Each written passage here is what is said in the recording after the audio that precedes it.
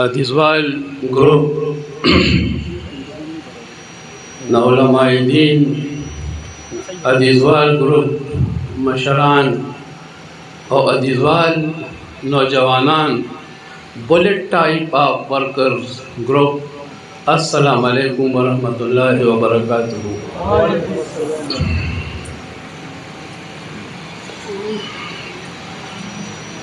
ادیزوال گروپ دراصل یو نامه ده په هغه نامه کې د یو بل سره امداد د یو بل تعاون د خیر او د ښېګړې فروع او ایکسټینشن او د شر او د جرایمو روکتام د غریبانانو مرسته د یتیمانانو په سر لاسې خول او د کونډو او د بې اسرا خلکو سهارا جوړېدل د دې نامې په معنا او د دې معنی په مفهوم باندې دلالت کوي بولټ ټایپ اف ورکر ما د دې ځوال د نوجوانانو ګروپ لپاره په خپل ریکارډ کې دا نامه یې خدا او بولټ ټایپ اف ورکر دا یو داس نوجوان ته وایي چې دې هغه ځای ته فورا ځان رسوي لکه د یوې ګولۍ په رنګ په کوم ځای کې چې د ده د خدماتو ضرورت وي سرکار ته پولیس ته سټیټ ته او قانون نافذ نافذ کولو والو ادارو ته د دې لپاره یو بل نامه ما په بل ریکارډ کې ساتلې ده بي ایس ټي بلو سکای تندر بلو سکای تندر معنی داسې نوجوان دی چې هغه د یو تندر پرنګي په هر برای باندې په هر جرم باندې په هر مجرم باندې په هر غل باندې او په هر انټي سوشل ایلیمنټ باندې د پاسه ورغورځېږي ما سره دا وعده وکړي او ما سره دا لوز وکړي چې دا نوجوانان به بولټ ټایپ اپ ورکړي او چې پولیس را رسی را رسی او موقع ته چې دوی د هغې نه مخکې هغه ځای ته رسېدلي او پولیس سره چې کوم تعاون ضرورت وي چې هغه ته مخکې دې مننه مغرب جوړ کړي دې مننه یورپ جوړ کړي چې په هغه ځای کې د پولیس ذمہ داري کمې شي تاسو خو د پولیس ذمہ داري زیاتې کړې دي فساد دی دهشتګردي ده ټرریزم دی داسې ځوانان پیدا کړئ چې لکه د تندر په رنګ په شین چې لکه د تندر په رنګ په شین او په شین اسمان راغورځېږي او ظلم ناانصافي استحصال دا ختمي دا مفهوم دا مفهوم نوې مفهوم نه دی دا مفهوم جدید مفهوم نه دی دا مفهوم صلی الله علیه کال مخکې تاسو زمونږ پیغمبر محمد رسول الله صلی الله علیه و آله وسلم دنیا ته پیش کړی دی د نبوت نه وړاندې رسول الله صلی الله علیه و آله وسلم یو سوشل ورکر او یو سماجی کارکونو هارد مایکل په خپل کتاب 100 کې لیکلي دي چې چېرې هغه نبی شوی نه وي هم هم هغه په دنیا کې دونه زیات هغه مشهور او د خپل سوشل اکټیویټیز لپاره لکه څونه چې نن هغه مشهور دی هغه په خپل ځوانۍ کې د نبوت نه وړاندې هغه په مکه معظمه کې د جوانانو یو داسې ګروپ جوړ کړو کوم چې شاهد او هدایت جوړ کړی دی چې هغه افغانان چې هغوی رامخکې شول نو د مکې معظمې د قبایلو په منځ کې چې یو ډېر لوی جنګ روان و حرب فجار اختمېدنه په هغې کې قتلونه کېدل په هغې کې خلک وژل کېدل پاره کې ډیسرپشن کېدو پاره کې فساد کېدو او چې هغه جوانان د شپې را جمع شو هغه وی مونږ به سوال زو دا جنگ به بندو او دا چې هغه پلار زنانه نور جنگ وکړي سبالا محمد رسول الله صلی الله علیه و آله وسلم په قیادت کې هغه جوانان هغه ینګ یوت هغه هغه میدان تر هغه منسته او دواړو قبایلو ته وی وی اوس غشي چلاوي مونږ ممرو او دا تاسو چې سکوله دا ومرو او دا رنګي د بوډاګانو فکر او د بوډاګانو ذهن شکست خوړو او د نوجوانانو ذهن فتح مونتا او هغه جنگ ختم شو او د هغه جنگ نه پس محمد رسول الله صلی الله علیه وسلم په دې کې کامیاب شو چې د امن یو معاهده وکړه د قبایلو په منځ کې چې د آینده لپاره به د قبایلو په منځ کې جنگ نه امن وي سکون به دا یو میګنا کارټا وا دا یو سولانامه وا نن هم څوک دا غي مثال نشي پیش کولی تاسو کتل چې کله رسول الله صلی الله علیه وسلم د نبوت اعلان وکړ نو مکه معظمه ټوله د خلاف شو او تاسو ته هغه تاریخي واقعا معلومه ده کله چې د مکه خلکو بني هاشم خاندان پشاب ابي طالب کې بند کو محصور کو او یو کاغذ لیکو په خانه کعبه کې ځوړند کو چې د کسانو سره سوشل بایکاټ دی دی بلان دی نرا کوزیگی دی تبا برا اوبو او غلا دا بو تنخیجی د دی با فل ناکا بندی شو او دارنګه محمد رسول الله صلی الله علیه وسلم د خپل تر ترونو خاندان او ماشومان سره په غاټه کې بند شو دا سمې واقع زه ته نه کوم خو زه د پی ایچ ډي په سطح باندې کوم او نورو کسانو به درته د اتم یا د څوارلسم په سطح کړي دونه سخته پرې راغلی چې ابولهب وویلې چې دا زما ذمه داري ده چې دې کسانو ته به ناکبندي کېږي او دې کسانو ته به غلا او دې کسانو ته به اوبه دا نه سپلای کېږي چغې وې سورې وې د ماشومان او ارونه وو د مکه خلکو روټه خوړه او د شابه ابي طالب کې بندو کسانو نارې تیرولې د مکه خلکو بسلې او په شابه ابي طالب کې خلکو نه غتند تیرولې دا یوازې د کربلا تند نه ده چې د یزید په زمانه کې پیښه شوې ده په اهل بیت باندې سخت سخت تند تیر شوی په اهل بیت باندې سخت سخت راغلي دي چې ابو طالب دون تنگ شو چې اخر کې هغه ویلې چې اے رب زما قوم په ما باندې وب بند کړی دي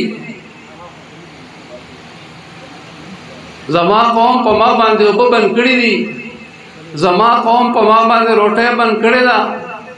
زما قوم زما لارې بند کړې دي نه مې پریږدي چې کابل ته لاړ شم او نه مې پریږدي چې دغه ترکي ته لاړ شم تاسو ګورئ په اشعار په کتابونو کې د ترکي او د کابل باقاعده نامه ده چې په هغه وخت کې د عربو هغې سره تجارتي روابط وو دا نوجوانان چې په مکه معظمه کې محمد رسول الله جوړ کړی وو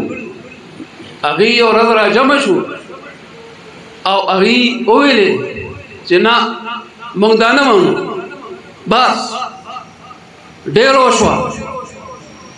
هیڅ کله هم داسې نشي کېدی چې زموږ بال بچ د روټۍ خوري او د بنو هاشم بال بچ د نار ناست دي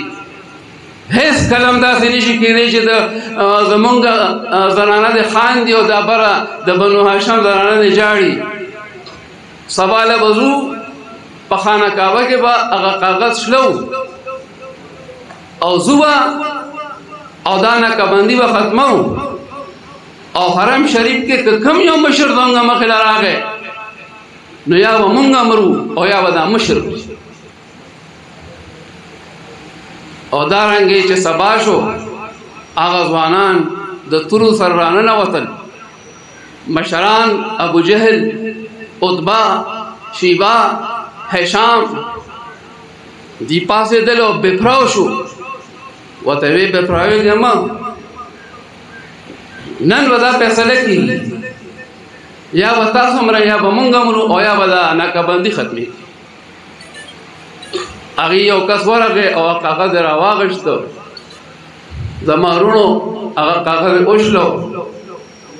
او ور روان شو چې هغه ناکبندي ختمو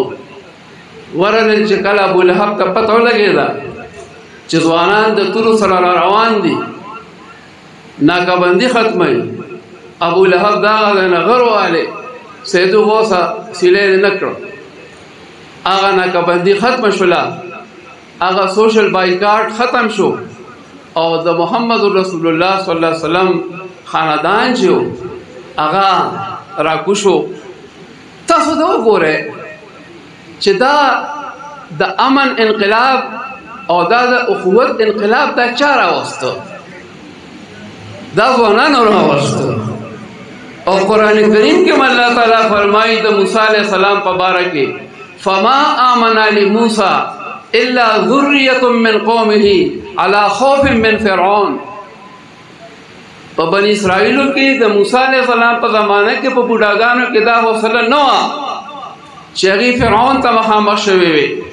لیکن یو څو ځوانان را پاسېدل او هغه فرعون ته مخامخ شوی تاسو ګوره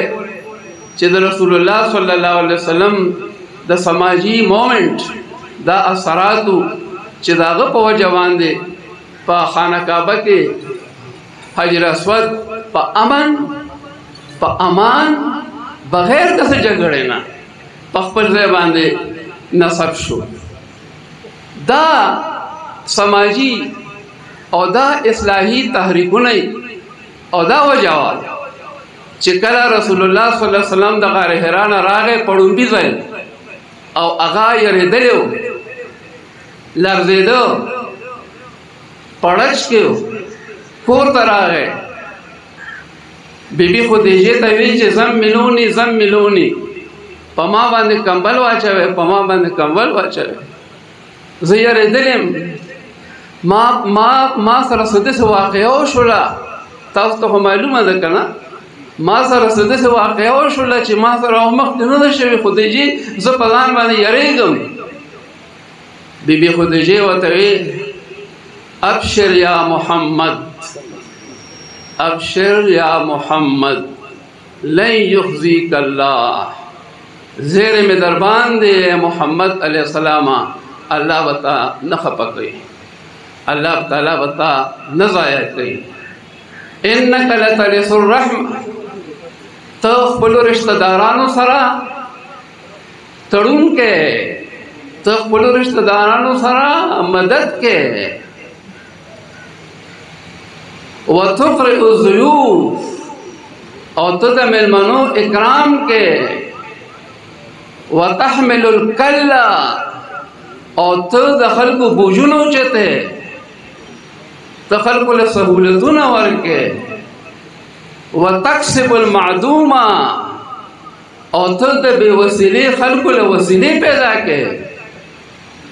وتعين على نوائب الخير او ته د خیر په مدد کې د ټولو نه وړاندې وړاندې او دارنګي د دا رسول الله صلی الله علیه وسلم تسلیم شولا اسلام لړو بنه تسلی یوې زنانه ور کړې دا داسې زنانه وا چې نه د یونیورسيټي نه فارغه وا چې زما په فیکلټي کې سبق ویلو نه د مدرسې نه فارغ او چې د بصیر شاه صاحب مدرسه کې سبق ویلو لیکن الله تعالی دا غي د ذهن او الله تعالی دا غي د فکر داسې پالیشینګ کړو داسې ګرومینګ کړو چې هغه دا نتایج په خپل برآمد کړل چې کله یو سړی سماجی خدمتګاری هغه ترجملی هغه شاهد اقبالی هغه د طلاوی هغه د هغه ټیم وی اب الله تعالی نه ضایع کوي اب الله تعالی په مخ دی باندې دا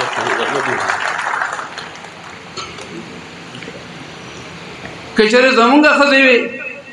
او زه راغلی یو پروفیسور بایس ګریډ کې و او زما خدای ته ما ویلې وی چې د ډېرې غاڼې ته د غتلو موال ته نه غاڼه داسې چلو شاو چې ګور بیا لاړ نشي هلته کې خو دغه پیریان دی دیوان دی یو مار په دیګ ناشته او زما نکي دغه دوه سه پیړې والو چې راغې هغه دوه ورځې نه جوړه په دې امر مړ شو نور مې مراله وار خطا کړو دلته چې راغې چې ټایم شارټ دی اهل بیتو کې یو بل مثال در کوم او دا اخیری مثال دی تاسو وګورئ چې د کربلا میدان ته څوک تللی د کربلا میدان ته د محمد رسول الله صلی الله علیه وسلم نو سیتلو هغه خپل سر ورک خلاصې د ظالم په لاس کې ور نه کو دا مو چې یزید مړ دی او حسین ژوند دی حسین هم ژوند دی او یزید هم ژوند دی فرق پکې دا دی چې حسین د حق په شکل کې ژوند دی او یزید د ظلم په شکل کې ژوند دی د ظلم او د حق دا مقابله دا روانه ده تاسو ګوره دا ظلم نه دی چې اوس په باجوړ کې په ګیدرن کې دا اوسه دماکو شو دا ظلم نه دی چې زما د مې د محافظین چې ناشتي زه پرېږي ماډل ټاون کې اوسم پر ریګمال د ټاون په ګیټ باندې زما د ملک درې زما د درې زما د ملک درې پولیس والا زما محافظین دي زما حفاظت کوي چې زما خزه کونډه نشي زما بچي یتیمانان نشي هغه وشته شو دا ظلم نه دی دا حق انسان له چا ور کړی چې د د کلمړو غواړي د به زما د ملک محافظین ولي دی به زما د ملک د پولیس وجني هغه خو زما د پاره ولاړ دي دا خو هغه زه وجلم دا خو هغه زما د عزت لپاره ولاړ دي عزت عزت ته مال مال له عزت چې وی پولیس دی لا ولاړ دي چې ستاسو کور عزت سو کوي چې څه چې عزت بیا بحالي نه او مال دا بیا راځي یو خبر را تر یاد شو دا چټم پروت دی دا ولک شاته کېده او دا واټرلو کې چې کله نپولین گرفتار شو نو جنرال نیلسن وته وی چې لوک نپولین وی برټش پیپل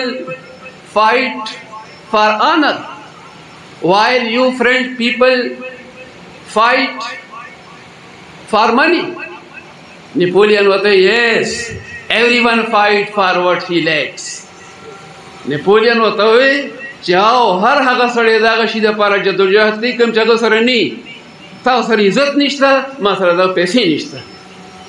دا پولیس والا